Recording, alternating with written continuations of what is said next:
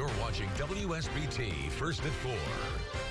The holidays are the perfect time to celebrate family. So often we get wrapped up in all the travel, the gift buying, trying to please everyone that we often forget to be in the moment though. Today's Coaching with Kerry is about capturing those really great memories and there's a really cool app that lets you do it. It's called One Day.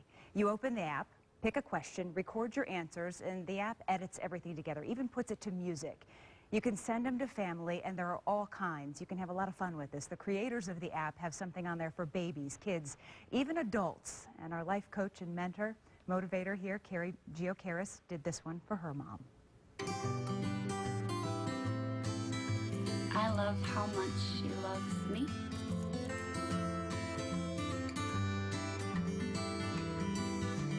I love when she would tickle and scratch my back when I was a little girl and sing me lullabies, and I still do that with my daughter.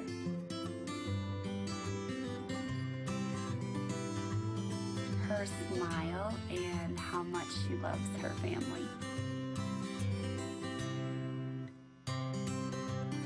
She is really good at being a grandma and a mom and helping everybody.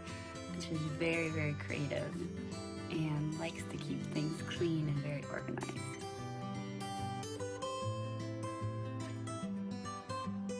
He married her because she's beautiful inside and out and has so much love to give to everybody.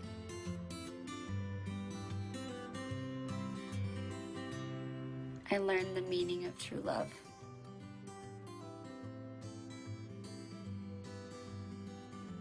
Visiting hours in heaven one day with my dad.